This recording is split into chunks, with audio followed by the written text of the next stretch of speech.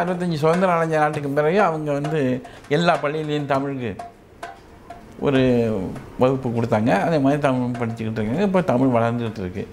இன்றைக்கு தமிழ் ஆட்சி மொழி ஆக்குனதும் அவர் தான் எந்த நாட்டில் உலகத்திலேயே இன்றைக்கி தமிழ் ஆட்சி மொழியில் அந்தஸ்து இருக்கிறது சிங்கப்பூரில் தான். முதல். தமிழ்நாட்டிலேயே அது போராடி வாங்க வேண்டியதாக இருந்துச்சு. தமிழன் மொழியால் ஒன்றுபடணும். முஸ்லீம் அவங்க பண்டிகையை கொண்டாடலாம். கிறிஸ்தவங்க அவங்க பண்டிகையை கொண்டாடலாம். நம்ம இந்துக்கள் நம்ம பண்டிகையை கொண்டாடலாம். எல்லாரும் இணைஞ்சு தமிழன்.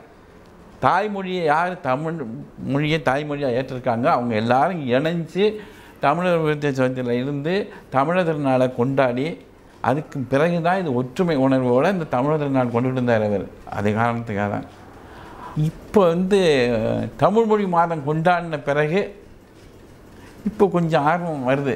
பிள்ளைங்கள் தமிழில் பேசுகிறாங்க இல்லைன்னா இங்கிலீஷில் பேசுகிறதோட சரி. தமிழ் பேசுகிறதுக்கே வெக்கப்பட்ட காலமெல்லாம் ஒன்று நான் எந்த ஆஸ்பத்திரியோ எந்த இடத்துக்கு போனாலும் தமிழனை பார்த்தாக்க வணக்கம் ஐயான்னு தமிழில் தான் பேசுகிறது சொல்லிவிடுவேன் உடனே ஆஸ்பத்திரிக்கு போன உடனே எனக்கு வேறு தெரியாது. தமிழ் தான் தெரியும். வேறு நர்ஸை கூப்பிடுங்க. அப்படின்னுடுவேன். முதல் வார்த்தை. அப்புறம் அதுக்கு மொழிபெயர்ப்பு ஆட்சிக்கிட்ட தான் பேசுவாங்க. அந்த மாதிரி இந்த தமிழ் ஆர்வம் நம்மள்கிட்ட இருக்குது. அது அவங்கள்ட்ட குறைஞ்சிருந்தது. இப்பொழுது ஒரு சமீப காலமாக தமிழை பேசணும்னு இளம் தலைமுறையினருக்கு ஒரு ஆர்வம் ஏற்பட்டிருக்கு. பிற்காலத்தில் அது நம்பிக்கை ஊட்டும். வளர்ச்சி நம்ம பிற்காலத்துலேயும் நம்ம தமிழ் செத்து போகாது இருந்து வளர்ச்சி அடையும் அப்படிங்கிற ஒரு நம்பிக்கை ஏற்பட்டிருக்கு இப்போ. சிங்கப்பூரில் பிறந்தவங்க ரொம்ப பெருமைப்படணும். நாங்கள்லாம் வந்த நாங்கள் அதனால் எனக்கு நாங்கள் வந்த வந்து வளர்ப்பு தாய் எங்களுக்கு இது. நாங்கள் பெற்ற நாடு வந்து இந்தியா. வளர்ந்த நாடு சிங்கப்பூர். என்றைக்கும் நாங்கள் வளர்ந்த நாட்டை மறக்க மாட்டோம். எனக்கு அந்த ஆர்வம் இருக்குது யாரும் மறந்தாலும் நான் வளர்ந்த நாட்டை மறக்கவே மாட்டேன். இது வளர்ப்பு தாய். வளர்ப்பு தாய்னா அவ்வளவு ஊக்கம் ஊட்டி எங்களை வளர்த்துருக்கின்ற இந்த நாடு.